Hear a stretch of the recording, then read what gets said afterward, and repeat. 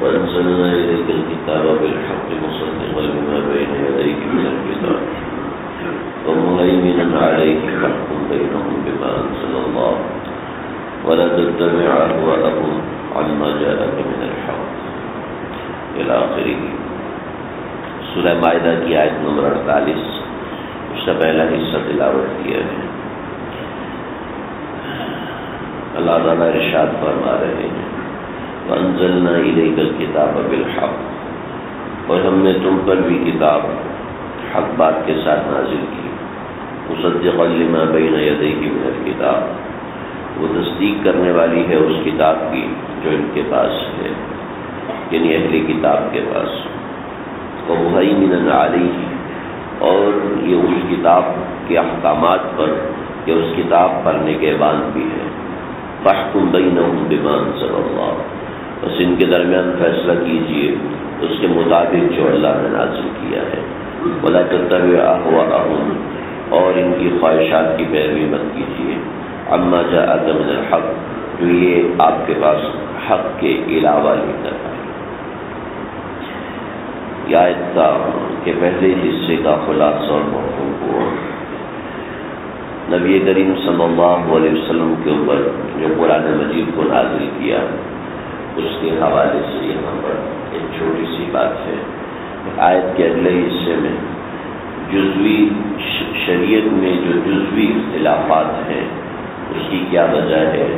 یعنی حضرت یوسف علیہ السلام کے مسلک کے مطابق چور کی سزا اور تھی، حضرت یعقوب کے مسلک کے مطابق چور کی سزا اور تھی اور نبی کریم صلی اللہ علیہ وسلم کے مسلک کے مطابق چور کی سزا اور ہے۔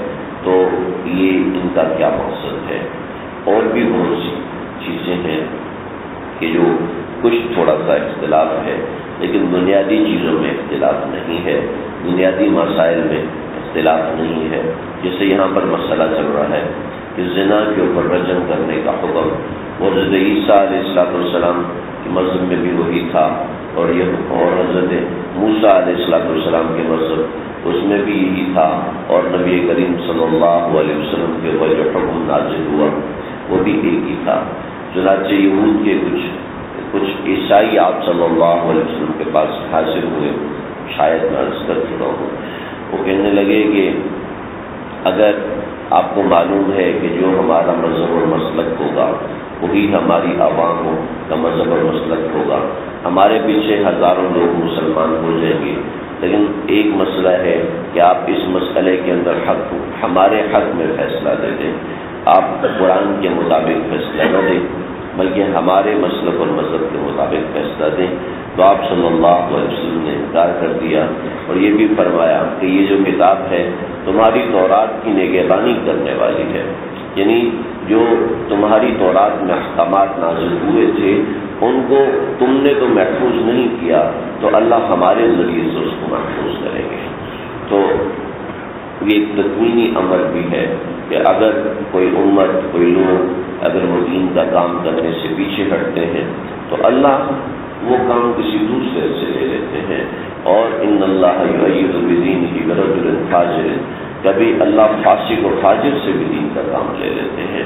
تو یہ حدیث ہے جو میں نے آپ کو سنا ان اللہ الدین کی برج الفاظر تو کوئی نیکی کا کام اگر کر رہے ہیں، تو یہ ہماری ہمت اور توفیق نہیں ہے، بلکہ یہ اللہ کی طرف سے توفیق ہے، جس نے ہمیں ہمت کو استعمال کرنے کی ہمت دی، کہ ہم اس کو استعمال کر رہے ہیں۔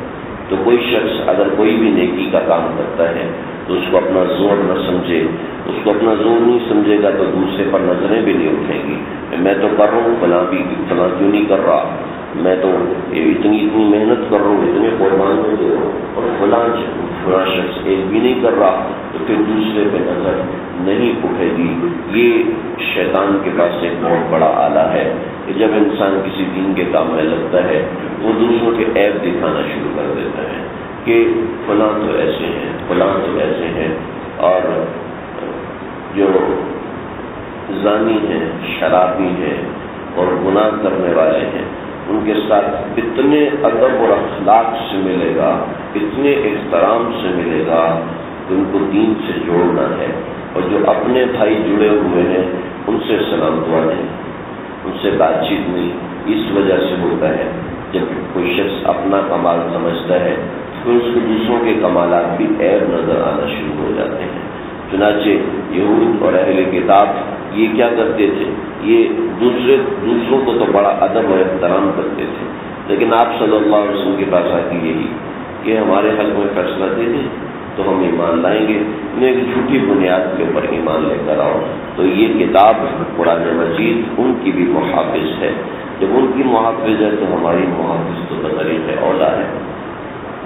انزل علی کا کتاب اب الحق لما بین یدیہ من الکتاب یہ تو آپ اس کے بارے میں بہت سن چکے ہیں۔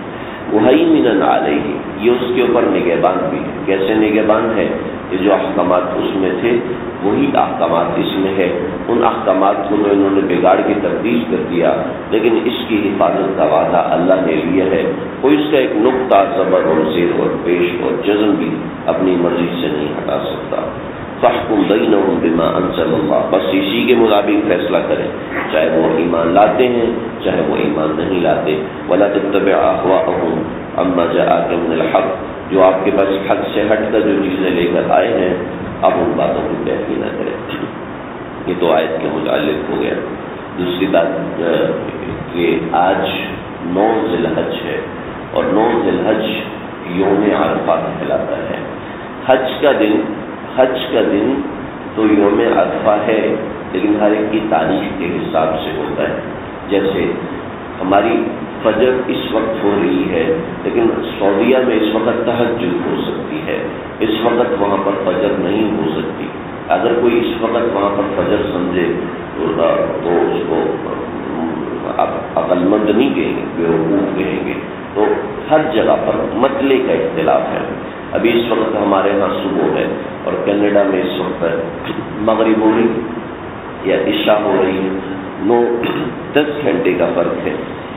تو یہ ہے اختلاف مطالعے معتبر ہے۔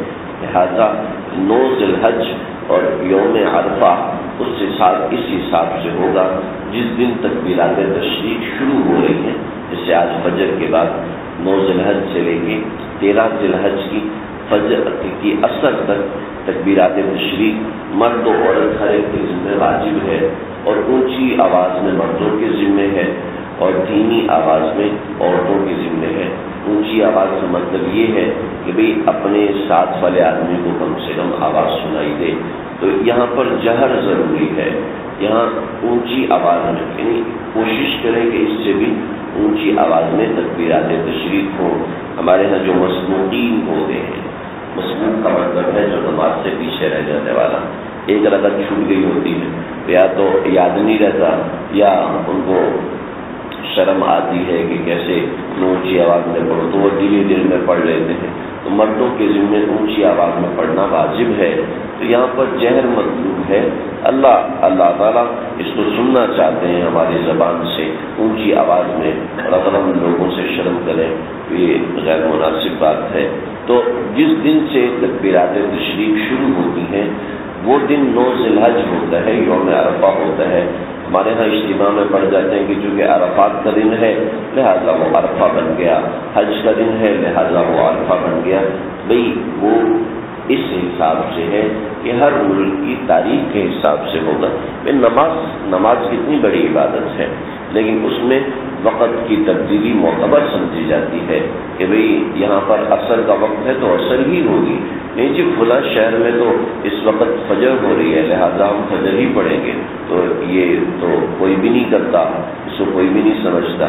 لہٰذا جو نو ذلحج کے روزے کی فضیلت ہے، وہ آج جمعرات کے دن کے حساب سے ہوگی، پاکستان میں اور سعودیہ میں بدھ کے حساب سے ہوگی۔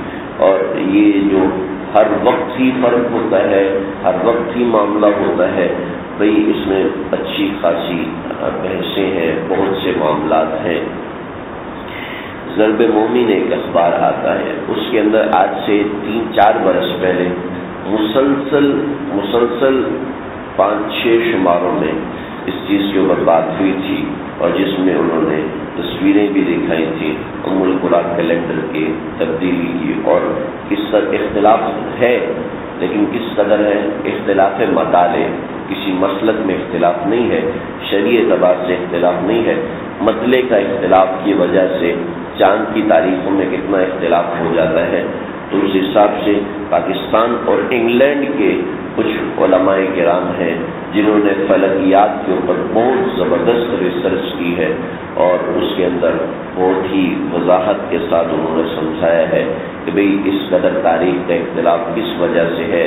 لہٰذا کوئی یہ نہ سمجھے کہ یار یہ علماء کے لیے گھونسلے ہیں اور یہ ایسے ہے اور اس طرح ہے، ایسا نہیں ہے۔ اس کے اوپر بڑی تحقیق ہے۔ ایک چھوٹے سے مسئلے کے اوپر بھی علماء نے اتنی تحقیقات کی ہیں کہ آپ ایک چھوٹا سا مسئلہ ہے، جیسے یہ میں نے آپ کے سامنے آیت پڑھی۔